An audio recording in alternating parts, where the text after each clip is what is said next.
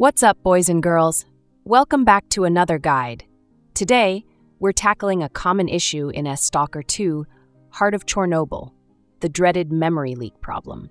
I'll walk you through step by step solutions to help you get the game running smoothly again.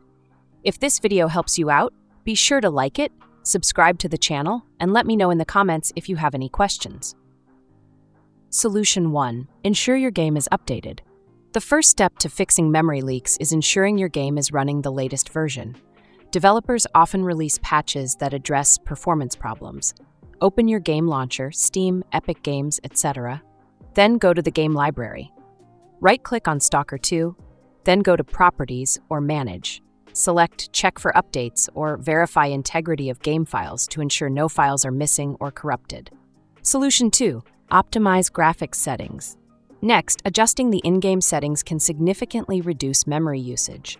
Launch Stalker 2, then go to Settings. Set the DLSS option to Performance mode if supported.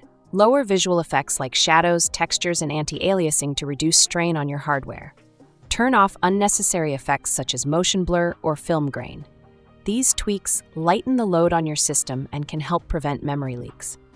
Solution 3. Monitor hardware performance. Sometimes, memory issues stem from your hardware setup. Use monitoring tools like MSI Afterburner or Task Manager to check GPU and CPU usage while running the game. If you notice your memory usage skyrocketing, restart the game to clear temporary memory buildup. For NVIDIA users, try rolling back to an earlier driver version if the latest one causes conflicts. Solution 4. Clear cache and verify files. If the above steps don't resolve the issue, clearing cache and verifying game files might help. Go to your game's installation folder. Delete temporary files or caches stored in folders like temp or logs. Reopen your launcher, then go to the game library. Right-click on Stalker 2, then go to Verify Game Files to restore any missing components.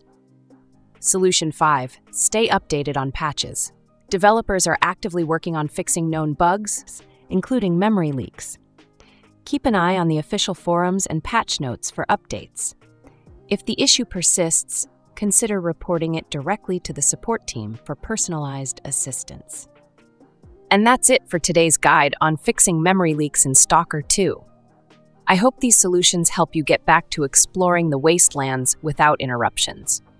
If you found this video helpful, don't forget to like, subscribe, and share it with your fellow stalkers. See you in the next guide.